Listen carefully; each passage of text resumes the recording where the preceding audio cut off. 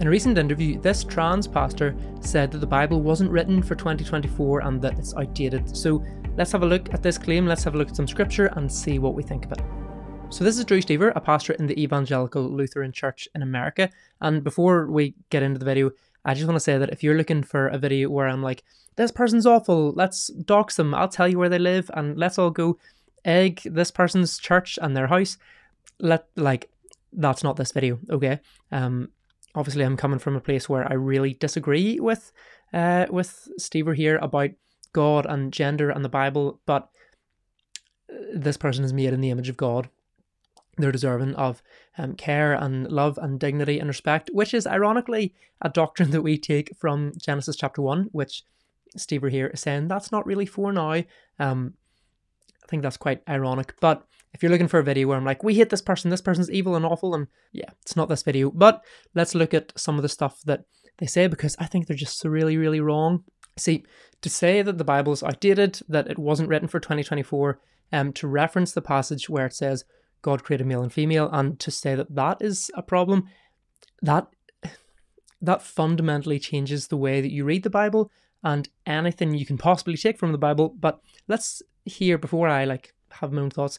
Um, let's hear what Stever says in their own words. A transgender pastor in America has called the Bible outdated. It wasn't written for 2024, it was written for then. Drew Stever is an ordained minister in the Evangelical Lutheran Church and aims to make the church a more inclusive place for everyone. When we read in, in the scripture that God created man and woman, God created everyone else as well. Drew and his partner Hazel live in Southern California with their three kids. He was raised Lutheran in Minnesota and went to Catholic school, during which time he battled with gender dysphoria. I Okay, we'll come back to the gender dysphoria and say a quick thing about that. But I'm more interested in the the theological take here about God made male and female and he made everyone else. So let's have a look at that. So here's Genesis 1, and this is where we get so much of what we believe about God and about ourselves and about the world. Um, and so to then say God made male and female and he made everyone else, that's imposing something on Genesis 1 that isn't in there. And once we start tweaking with it and saying we can change it or that bit's not relevant, that doesn't apply, then I think that leads us into all sorts of problems because this scripture is so foundational for us. So let's have a look and see some of the things that we draw from Genesis chapter 1 and 2 and 3. Uh, we'll mostly look at chapter 1, but the things that we talk about go the whole way through the Bible. So, first of all, you see that in the beginning God created the heavens and the earth. The earth was formless and empty, darkness was over the surface of the deep. The Spirit of God was hovering over the waters. This is all imagery of like chaos, disorder, and then God speaks and brings order and brings um, structure and life to the universe. And so, from that, humans have derived that God made an ordered world, and that worldview, that philosophy, led to the pursuit of science and technology and engineering and maths because he said, okay, God made an ordered world, so we should be able to observe that order and draw conclusions from it. So, like, huge, huge thing that was very different to other worldviews at the time. We take that from Genesis chapter 1. Another thing, let's have we look at chapter 1, verse 26. This is something that always that surprised me whenever I first learned it. I think we become so familiar with this story that we don't really see this, but God said, Let us make mankind in our image, in our likeness, so that they, mankind, may rule over the fish in the sea and the birds in the sky, over the livestock and all the wild, wild animals, over all the creatures that move along the ground. Humans were made to rule the world. That is what God made us to do. And so that like we we deviated from that plan and uh, we lost the ability to rule the world. But that's the that's what God made humans for. And so that gives us so much value and worth and dignity. And then whenever we jump forward to the end of the Bible, Revelation chapter 22, you see Eden is restored. And it says here at the end, they, like that's God's people, alongside God, will reign forever and ever. So we were made to rule the world. We get that from Genesis chapter 1. Another thing that we get from Genesis chapter 1 is that we were to fill the earth with image bearers. That was like the, the job that God wanted us to do. Um, so that um, it said, God bless him and said, Be fruitful and increase in number, fill the earth and subdue it, rule over the fish in the sea and the birds in the sky, and over every living creature that moves on the ground. We were supposed to fill the earth with people who reflected God's glory and who ruled on his behalf. And then from that, we draw conclusions about how we as Christians are to live, about God's kingdom, what the kingdom is, what it looks like. The kingdom is is nothing more than uh, a kind of building on what God's blueprint was from Genesis 1 and 2. We also see that, okay, they were to fill the earth with uh, image bearers. said, Let us make mankind in our image, they may do these things. So God created mankind in his own image. In the image of God, he created them. Male and female, he created them. This is absolutely huge whenever it comes to questions of like our worth and our identity and our purpose. Because, quick, like, dunk against atheism. Atheism's whole founding mythology, their whole worldview is that the universe is a random accident, that uh, there's no purpose or plan behind it, there's no creator. And so yeah, you know, we just happen to be here, and once we die, that's it. And so, from that, the conclusions you draw, if that is how we're here and why we're here, is that life's kind of meaningless, that it's survival of the fittest, that you just got to do what you want and maybe make whatever meaning you can. And if that means that you have to oppress other people and mistreat them so that you can get ahead, that's fine. Do you know, that's what atheism tells us. Christianity tells us that no, actually, we're all made in the image of God every single person is equally valuable, worthy of infinite dignity and respect and honor because our value doesn't come from ourselves, the things that we do, the things that we can't do, the abilities and skills and talents we have or how we look. Our our value and worth and dignity comes from God. And because God doesn't change, that means our value doesn't change. So this was the basis for things like the Universal Declaration of Human Rights that said whether you're rich or whether you're poor, you are equal. And so that is the idea that we're made in the image of God is such a balm to any sort of feelings of worthlessness and self doubt and insecurity because it's like, no, God made you in his image. Oh, by the way, if you're enjoying this video, one of the ways that you can help it spread to more people is by hitting it with a like. So if you do that, I would appreciate that. Thank you. And then whenever we read Psalm 8, this is Psalm 8 has been called it's like the poet's reflection on the theology of Genesis 1 and 2. It's essentially drawing out of Genesis 1 and 2 and saying, um, When I consider your heavens, the work of your fingers, the moon and the stars which you've set in place, thinking of these big, grand things. And, you know, you see some photos of stars and galaxies and all this stuff, and you're like, wow, that's sensational. But then the psalmist says, What is mankind that you're mindful of them? Human beings that you care for them. You've made them a little lower than the angels and crowned them with glory and honor. Uh, you made them rulers over the works of your hands and put everything under their feet all flocks and herds and the animals of the wild, the birds in the sky and the fish in the sea, all that swim the paths of the sea. Again, this is drawn straight out of Genesis chapter 1 to say humans are astounding, incredible, valuable, because this is what you made them to be. So, this is where we get our value as humans from. Uh, it's also the Genesis 1 is also where we get the trajectory of where God is bringing creation to. Whenever you read Revelation chapter 21 and chapter 22, all of this language is so soaked in like Eden language. Um, the idea of a holy city, the New Jerusalem, that itself draws from Eden stuff. Um, new heaven and a new earth, God's space and human space overlap now. Um, the thirsty, I'll give water without cost from the spring of the water of life. Uh, and then in the chapter 22, this wee section is Eden restored.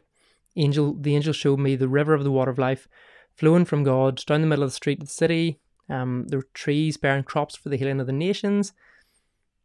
This is all Eden stuff. And so God's plan, and I could show you like a million, not a million, um, there are like a million scriptures, so, so many, that say that draw on Eden language, that draw on Eden imagery, and then build the theology of the Bible out of that. So then for Drew Stever to say that this bit is not relevant for now, that this wasn't written for 2024, is to go back to like our whole founding um, mythology is the the phrase that's used not to say that it's not true, but to say that it's it's the story that shapes how we view the world and life and our purpose. To say that that isn't relevant for 2024 just undoes the rest of the Bible. like I really don't think that's much of an exaggeration to say that if you pull out Genesis chapter one, you're like, no, that's not relevant anymore. I think the whole thing comes crumbling down because everything flows out of Genesis 1 and 2 and 3. It's as if Genesis chapter 1, 2, and 3, those are like the foundations of a building. And then as you go up the building, everything is based on the foundations. So you can't say, oh, I like the Gospels. The Gospels are the 40th, 41st, 42nd, 43rd books in the Protestant Bible. Um, you can't say, oh, I like the Gospels. We'll take the 40th floor and the 41st, 42nd, 43rd. Uh, we'll maybe take a little bit of this floor, but no, we're not going to, we don't need the foundations and we don't need Genesis, Leviticus. We don't need chapter, we don't need floor three because that's Leviticus and mm, it's a wee bit weird. It doesn't work. You need it all. It all builds off itself. And ironically, in the like longer video of what Drew Stever says here, um, he says that oh, we just want to teach this, or his congregants say, oh, he's just teaching the stuff that Jesus said: love your, love God, love your neighbor. But Jesus himself affirmed, like, fully affirmed and reiterated this definition of male and female. It says, when some Pharisees, when some Pharisees came to test him, asking him, asked him about divorce, he said, "Have you not? Haven't you read that at the beginning the Creator made them male and female?" This is wee footnote here. That is Genesis one twenty seven, and said, "For this reason, a man will leave his father and mother and be united to his wife, and the two will become one flesh." That is Genesis two twenty four. So they're no longer two, but one flesh. Therefore, what God has joined together, let no one separate. Jesus, when presented with a question about the nature of marriage, reiterated Genesis 1's take on marriage and gender and said this is what it means to be made in the image of God. So to say that we'll take we'll take what Jesus teaches, you're not taking what Jesus teaches. And so if you're then going to say we'll take the bits that we like and we'll get rid of the bits that we don't like, then you're doing what Paul writes in Timothy when he's like, there the last days will come when people surround themselves with false teachers who tell them whatever their itching ears want to hear. That's what's happening here. And note that, like, yeah, we only saw we only see a few clips in this video, but it doesn't look like it's a huge congregation. Um, there's a wee section at the end that we'll get back to this video here. There's a wee section at the end that I think is really interesting. Catholic school, during which time he battled with gender dysphoria. I grew up female and in the female context, and I just never felt like that worked for me. There were definitely times where, like, if I can't exist in one way, I don't want to exist at all. I would just be better off not alive. It wasn't until his school teacher introduced him to a different kind of Christianity, one that was accepting of everyone. And there was a moment where I woke up in the morning and the words that came to my mind was, you don't have to be angry anymore. It almost felt like God just took a snowball and just like threw it at my face. Drew's partner Hazel is also an ordained minister and supported Drew when he was getting a lot of hate online for being a transgender pastor. 68% of Protestants and 51% of Catholics believe that a person's gender is defined at birth, according to a study from Pew Research. Drew Just pause it there, wee sec.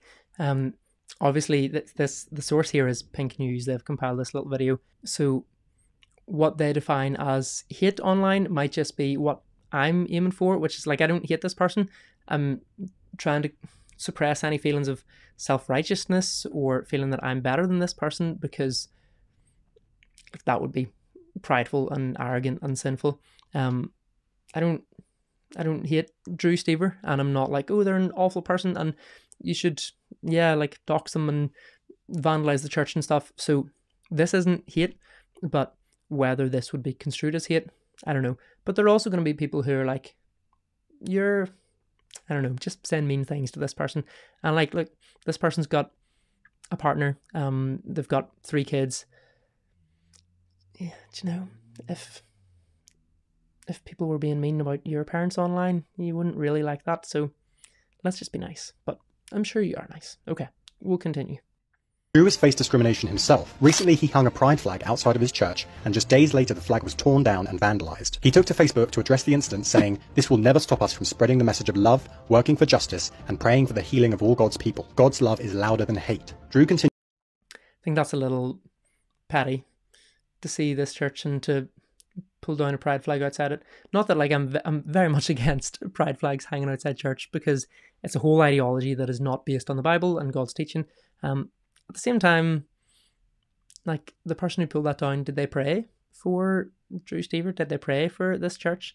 Um, something I heard recently, which is really good and kind of keeps me in check on this sort of thing, is that it was pointing out the difference between um, like love for someone versus feeling self righteous about them, and it said that self righteousness is whenever you are moved by um, moved by comparison to judgment rather than moved by compassion to prayer. So I see this. I my natural human instinct is to think I'm better than these people. They suck at Christianity. I'm way better, but that is self-righteousness being manifest. Whereas I my response should be, and the spirit like convicts me of this, my response shouldn't be they suck. It should be, oh my goodness, these people don't actually know Jesus. They need to know his truth, they need to know his love because they're being lied to here. So moved by compassion to prayer rather than moved by comparison to judgment. Um, yeah, turn down pride flags. I said, church. I think it's a little patty. Like, what are you achieving? Continues to spread love and positivity, opening his arms and his church to everyone. The pastor even uses his social media to spread queer positivity, showing the world that there isn't one way to be a Christian. He also showcases just how inclusive his church is. You are good. Nothing is wrong with you. You are so good. You don't need the church to tell you that. So that last wee section, I wanted to play through and show you. Um, in the longer video of this, the like longer interview, this is when he's saying like, "You're good. You're so good." That's a response to he's saying like, "Oh, my message to people who have been mistreated by Christians and mistreated by the church, whether they are disabled people or racial minorities or whatever it is." Um, that's what he said. At the same time, to say like, "You're good. You're so good."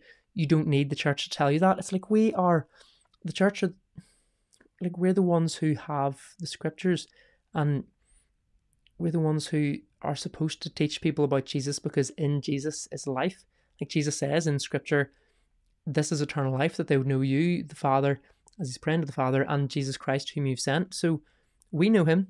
Our job is to introduce people to him. So to say, we don't need the church to tell you that you're good, it's like, but without God, you've no, you have a much weaker basis for thinking that you have worth and value and dignity. But again, to go back to the image of God stuff, you do have worth and value and dignity. Um, the stuff about him, her, it's really, don't hit me over the pronouns. It's really hard. Um, the stuff about Stever, uh, saying this stuff, I think it's worth replaying again. Catholic school, during which time he battled with gender dysphoria. I grew up female and in the female context, and I just never felt like that worked for me. There were definitely times where, I, like, if I can't exist in one way, I don't want to exist at all. I would just be better off not alive. It wasn't. I mean, that's really sad that that is the experience of some people, and there'll be maybe people you know who are trans, or like you have some degree of separation from trans people who feel that way. Um, the stats do show that for people who feel and experience gender dysphoria in their teenage years, as rough as that might be, I have no concept of how rough it might be, but I've read that it is. Um, around 80% of them will grow out of it if they're not kind of encouraged to any form of social or um, hormonal or surgical transition. And so it's not like so called gender affirming care is the only answer to this. Yeah, I think there's another there's another alternative that isn't oh we go down this this route of progressive theology because you lose too much. You lose what you're actually looking for. You're looking for meaning and purpose and validation and hope and comfort and Jesus, and you lose them. So, yeah, let me know your thoughts. I would love to hear from you, and I'll see you in the next video. God bless.